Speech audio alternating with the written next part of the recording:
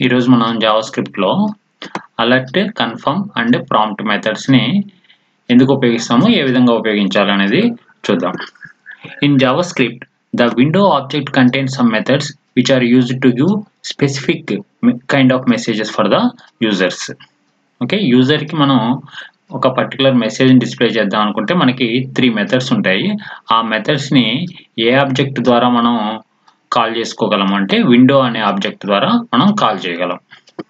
Okay ఆ three methods ఏమేంటంటే alert అనే ఒక method this method gives alert message to the user when they do something wrong user కనుక ఏదైనా mistake చేస్తే మనకి ఈ అలర్ట్ అనే మెథడ్ కాల్ అవుతుంది. Okay for example suppose name enter చేయాల్సిన చోట నెంబర్స్ కానీ స్పెషల్ సింబల్స్ కానీ ఎంటర్ చేస్తే మనం ఈ అలర్ట్ మెథడ్ అనేది యాక్టివేట్ అయ్యే విధంగా జావా స్క్రిప్ట్లో కోడ్ అనేది రాయొచ్చు. అట్లానే నెక్స్ట్ కన్ఫర్మ్ అనే method this method displays a message to take confirmation from the user user దగ్గర నుంచి కన్ఫర్మేషన్ మెసేజ్ తీసుకోవడానికి మనం ఈ కన్ఫర్మ్ అనే మెథడ్ని ఉపయోగిస్తాము. ఓకే. దీనికి ఎగ్జాంపుల్ ఏంటంటే సపోజ్ మనం ఏదైనా ఫైల్ని డిలీట్ చేసినప్పుడు do you really want to delete this file అనేసి మనకి ఒక కన్ఫర్మేషన్ డైలాగ్ బాక్స్ అనేది వస్తుంది. ఓకే? సో అది డిస్ప్లే కావాలంటే మనం కన్ఫర్మ్ అనే మెథడ్ని కాల్ చేస్తాము నెక్స్ట్ ప్రాంప్ట్ అనే మెథడ్ ఎందుకు? This method is used to prompt user for an input okay? User దగ్గర నుంచి మనం ఏదైనా ఇన్పుట్ని తీసుకోవాలనుకుంటే ప్రాంప్ట్ అనే మెథడ్ని ఉపయోగించి మనం యూజర్ దగ్గర నుంచి ఇన్పుట్ తీసుకుంటాం. The input take is read as text. ఆ ఇన్పుట్ ఏ విధంగా ఉంటుందంటే టెక్స్ట్ రూపంలో ఉంటుంది. సో దీనికి ఇక్కడ ఎగ్జాంపుల్స్ ఇచ్చాను చూడండి. అలర్ట్ కన్ఫర్మ్ అనే మెథడ్స్ ఉపయోగించి నేను ఒక ప్రోగ్రామ్ రాశాను. ఈ ప్రోగ్రాంలో ఏంటంటే ఈ బాడీ లోపల చూడండి. టూ బటన్స్ తీసుకున్నాను నేను. Okay input type equal button value equal to please don't click on click equal to alert message మనం దాన్ని క్లిక్ చేసినప్పుడు ఏ మెథడ్ కాల్ అవుతుంది ఇక్కడ? అలర్ట్ మెసేజ్ అనే ఫంక్షన్ కాల్ అవుతుంది. అలర్ట్ మెసేజ్ అనే ఫంక్షన్లో ఏం రాసామో చూడండి. Window dot alert this button should not be clicked అనేసి మనకి మెసేజ్ డిస్ప్లే అవుతుంది. సో ఇక్కడ మనం ఏ ఫంక్షన్ కాల్ చేసాం అలర్ట్ అనే ఫంక్షన్ని కాల్ చేసాం ఏ ఆబ్జెక్ట్ ద్వారా? విండో అనే ఆబ్జెక్ట్ ద్వారా. నెక్స్ట్ బటన్లో చూడండి. Input type equal button value equal please click. ఆ బటన్ మీద ఏం ఏం డిస్ప్లే అవుతుంది? ప్లీజ్ క్లిక్ అనేసి ఉంటుంది. దాన్ని క్లిక్ చేసినప్పుడు on click equal to confirmation. Confirmation అనే ఫంక్షన్ కాల్ అవుతుంది.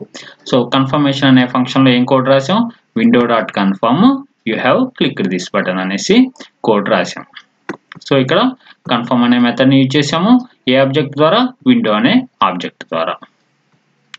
నెక్స్ట్ ఎగ్జాంపుల్లో చూడండి. ప్రాంప్ట్ అనే మెథడ్ని ఏ విధంగా ఉపయోగించాం చూద్దాం. ఓకే. సో ఇక్కడ స్క్రిప్ట్ లోపల నేను window dot prompt enter your name name enter చేయమనేసి ఒక ప్రాంప్ట్ డైలాగ్ బాక్స్ వస్తుంది. ఎంటర్ చేసిన నేమ్ అనేది ఏ వేరియబుల్ కింద స్టోర్ చేసాం ఇక్కడ? ఎస్టీఆర్ అనే ఒక వేరియబుల్ కింద స్టోర్ చేసాం next document dot write hello STR okay hello అని మనం ఏదైతే నేమ్ ఎంటర్ చేసామో అది ఆ పక్కన వస్తుంది. సో ఇక్కడ అవుట్పుట్లో చూడండి ఎంటర్ యువర్ నేమ్ ఉంది. సుధీర్ అని టైప్ చేశాను. ఓకే ప్రెస్ చేయగానే ఏమొస్తుంది మనకి ఇక్కడ? హలో సుధీర్ అనేసి వస్తుంది. సో ఈ అలర్ట్ కన్ఫర్మ్ తర్వాత ప్రాంప్ట్ ఈ మెథడ్స్ని మనం ఏ విధంగా ఉపయోగించాలనేది నేను ఒక ప్రోగ్రామ్ రాసి చూపిస్తాను. Okay so html next body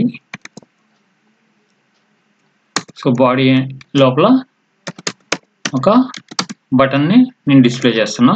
Input type equal to button value equal to value అనేది ఎందుకు రాస్తాం మనం?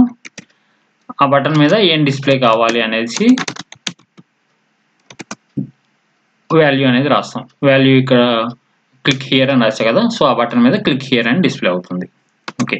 ఆ బటన్ని క్లిక్ చేసినప్పుడు ఏం జరగాలి అనేది ఆన్ క్లిక్ అనే దాంట్లో రాస్తాం. ఆన్ క్లిక్ ఈక్వల్ టు ఆ బటన్ని క్లిక్ చేసినప్పుడు సపోజ్ ఒక అలర్ట్ మెథడ్ని నేను ఇక్కడ యూజ్ చేస్తాను window dot alert.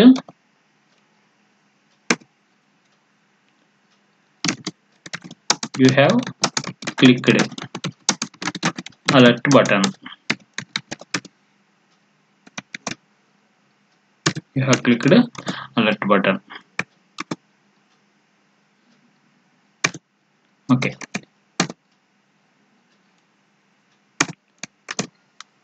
So ఈ విధంగా రాశాను. నెక్స్ట్ బాడీని క్లోజ్ చేస్తున్నా. నెక్స్ట్ హెచ్డిఎంఎల్ని క్లోజ్ చేస్తున్నా. ఓకే దీన్ని సేవ్ చేస్తున్నా చూడండి. డెస్క్టాప్ మీద ఎగ్జాంపుల్ డాట్ హెచ్టిఎంఎల్ అనే నేమ్తో సేవ్ చేస్తున్నా. ఓకే సో ఇప్పుడు ఎగ్జాంపుల్ డాట్ హెచ్టిఎంఎల్ వచ్చింది కదా దీన్ని ఓపెన్ చేస్తున్నా. ఓకే సో ఇక్కడ క్లిక్ హియర్ అనేసి వచ్చింది మనకి బటన్. దీన్ని క్లిక్ చేసినప్పుడు ఇక్కడ చూడండి you have clicked alert button so ఈ విధంగా మనకి అలర్ట్ మెసేజ్ అనేది వస్తుంది. ఓకే నెక్స్ట్ సో నెక్స్ట్ ఇంకోటి ఏంటి మనకి confirm you have clicked confirm confirm button అనేసి రాస్తున్నా. సో దీన్ని సేవ్ చేశాను. ఇక్కడ రిఫ్రెష్ చేస్తున్నా. సో క్లిక్ హియర్ అని ప్రెస్ చేయగానే you have clicked confirm button అనేసి వచ్చింది. సో ఈ విధంగా మనం అలర్ట్ మెథడ్ని కన్ఫర్మ్ మెథడ్ని విండో అనే ఆబ్జెక్ట్ ద్వారా మనం కాల్ చేయొచ్చు. ఓకే సో మనం ఇక్కడ కోడ్ అనేది ఇక్కడే రాసేసాం. సో కోడ్ అనేది ఇక్కడ రాయకుండా ఇంకొక మెథడ్ ఏంటంటే మనం ఆ కోడ్ని జావా స్క్రిప్ట్లో రాసేసుకోవచ్చు. ఓకే హెడ్ స్క్రిప్ట్ ఇక్కడ మనం ఒక ఫంక్షన్ని రాస్తాం. ఫంక్షన్ కన్ఫర్మేషన్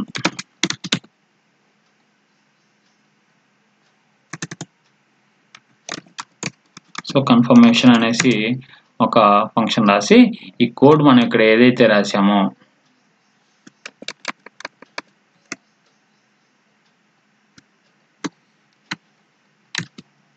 ఆ కోడ్ని మనం ఇక్కడ రాసుకోవచ్చు. ఓకే ఆ ఫంక్షన్ క్లోజ్ చేస్తున్నాం తర్వాత స్క్రిప్ట్ని కూడా క్లోజ్ చేస్తున్నాం తర్వాత హెడ్ క్లోజ్ చేస్తున్నాం ఓకే సో ఇప్పుడు ఆ ఫంక్షన్ మనం ఇక్కడ నుంచి కాల్ చేయాల్సి ఉంటుంది. సో ఏంటి ఫంక్షన్ ఏమో కన్ఫర్మేషన్ అనే ఫంక్షన్ని కాల్ చేస్తాం సో దీన్ని నేను సేవ్ చేశాను. సో ఇక్కడ రిఫ్రెష్ చేస్తున్నా.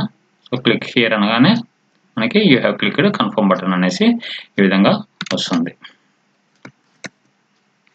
ఓకే నెక్స్ట్ ప్రాంప్ట్ అనేది ఈ విధంగా ఉపయోగిస్తాం. ఓకే ప్రాంప్ట్ అనే దానికోసం మనం ఇంకొక ప్రోగ్రామ్ రాద్దాం. హెచ్టిఎంఎల్ బాడీ దీంట్లోనే స్క్రిప్ట్ ఇక్కడ మనం ప్రాంప్ట్ అనే ఫంక్షన్ని ఉపయోగించడం. ప్రాంప్ట్ అనేది ఎందుకు ఉపయోగిస్తాం అని చెప్పుకున్నాం మనం యూజర్ దగ్గర నుంచి ఇన్పుట్ తీసుకోవడానికి మనం ప్రాంప్ట్ అనేది ఉపయోగిస్తాం. సో యూజర్ దగ్గర నుంచి తీసుకున్న ఇన్పుట్ని మనం ఒక వేరియబుల్లో స్టోర్ చేయడానికి ఎస్టిఆర్ అనేసి ఒక వేరియబుల్ తీసుకున్నాను నేను. So window dot prompt enter your name okay? So ఇప్పుడు మనం ఎంటర్ చేసిన నేమ్ అనేది ఎస్టీఆర్ అనే వేరియబుల్లో ఉంది. సో ఇప్పుడు మనం డాక్యుమెంట్ డాట్ రైట్ హలో అని రాసి ఇక్కడ ఆ ఎస్టీఆర్ని మనం ప్రింట్ చేయొచ్చు. ఓకే? దీంతో మనకి స్క్రిప్ట్ అనేది కంప్లీట్ అయిపోయింది. నెక్స్ట్ బాడీ అనేది క్లోజ్ చేస్తున్నాం. నెక్స్ట్ హెచ్టిఎంఎల్ అనేది కూడా క్లోజ్ చేస్తున్నాను సో దీన్ని నేను సేవ్ చేశాను. ఇక్కడ రిఫ్రెష్ చేస్తున్నా. ఓకే ఎంటర్ యువర్ నేమ్ అంది సో ఇక్కడ నేను సుధీర్ అని ఎంటర్ చేసా ఓకే ప్రెస్ చేయగానే హలో సుధీర్ అనేసి మనకి డిస్ప్లే అయింది. ఓకే సపోజ్ మనం బై డిఫాల్ట్గా ఏదైనా వాల్యూ ఇద్దాం అనుకుంటే ఈ విధంగా ఇవ్వచ్చు. సపోజ్ తేజ అని ఇచ్చా ఇక్కడ నేను. సో తేజ అని ఇస్తే మనం ఇక్కడ రిఫ్రెష్ చేయగానే ఎంటర్ యువర్ నేమ్ అంది. ఇక్కడ తేజ అనేది బై డిఫాల్ట్గా తీసుకున్నాను అంటే నువ్వు ఏమి ఎంటర్ చేయకపోయినా సరే తేజ అనే వాల్యూ తీసుకుంటుంది. నువ్వు ఇక్కడ కనుక సుధీర్ అని ఎంటర్ చేస్తే సుధీర్ అనే వాల్యూ తీసుకుంటుంది. ఓకే ఏమి ఎంటర్ చేయకుండా ఓకే ప్రెస్ చేస్తే తేజ అనే వాల్యూ తీసుకొని హలో తేజ అనేసి మనకి డిస్ప్లే అవుతుంది. ఓకే ఇంకొక ఎగ్జాంపుల్ తీసుకుందాం ఇక్కడ. సపోజ్ నేను టూ వాల్యూస్ తీసుకుని ఆ రెండింటి యొక్క సమ్ ప్రింట్ చేద్దాం అనుకున్నా. ఫస్ట్ దానికేమో ఎక్స్ అని తీసుకుంటున్నా. Enter value for x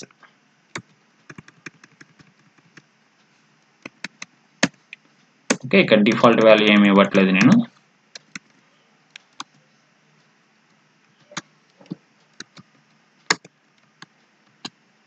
Next enter value for y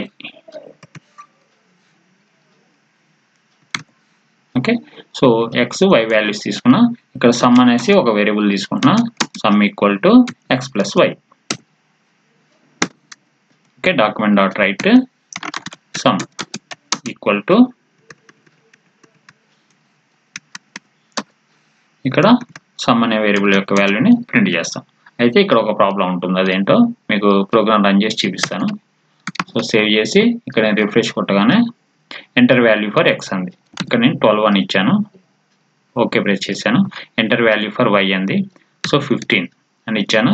ఇక్కడ ఓకే ప్రెస్ చేయగానే మనం ఎక్స్పెక్ట్ చేస్తున్న వాల్యూ ఎంత? ట్వెల్వ్ ప్లస్ ఫిఫ్టీన్ అంటే ట్వంటీ సెవెన్ రావాలి. కానీ ఏమొస్తుందో చూడండి ఇక్కడ. ఓకే ప్రెస్ చేయగానే ట్వెల్వ్ ఫిఫ్టీన్ అని వచ్చింది. మనకి ట్వంటీ సెవెన్ రాలేదు. ట్వెల్వ్ ఫిఫ్టీన్ అని వచ్చింది. ఎందుకు వచ్చింది అంటే మనం ఇక్కడ ఏదైతే వాల్యూస్ ఎంటర్ చేస్తున్నామో అవి టెక్స్ట్ కింద తీసుకుంటుంది. ఓకే సో ఇదేమో ట్వెల్వ్ అనే టెక్స్ట్ కింద తీసుకుంది. ఇదేమో ఫిఫ్టీన్ అనే టెక్స్ట్ కింద తీసుకుంది.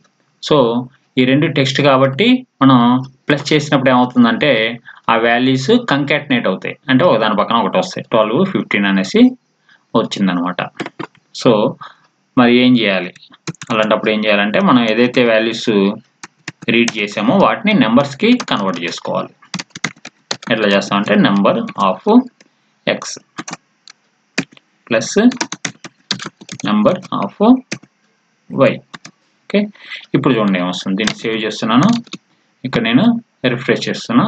So enter value for x twelve enter value for y fifteen so sum equal to twenty seven అని వచ్చింది. సో ఈ విధంగా మనం వాల్యూస్ యూజర్ దగ్గర నుంచి ఇన్పుట్ తీసుకోవాలనుకుంటే ప్రాంప్ట్ అనే మెథడ్ని ఉపయోగిస్తాం. ప్రాంప్ట్ అనే మెథడ్ కూడా ఏ ఆబ్జెక్ట్ ద్వారా మనం కాల్ చేయగలం? విండో అనే ఆబ్జెక్ట్ ద్వారా మనం కాల్ చేస్తాం. యూజర్కి ఏదైనా మెసేజ్ డిస్ప్లే చేద్దాం అనుకుంటే అలర్ట్ కానీ అయితే కన్ఫర్మ్ ఓకే ఈ ఈ రెండు మెథడ్స్ని ఉపయోగిస్తాము. అవి కూడా మనం విండో అనే ఆబ్జెక్ట్ ద్వారా మనం కాల్ చేస్తాం. సో ఇవి వీటిని మనం మెసేజెస్ అండ్ కన్ఫర్మేషన్స్ అని అని కూడా అంటాము. Thank you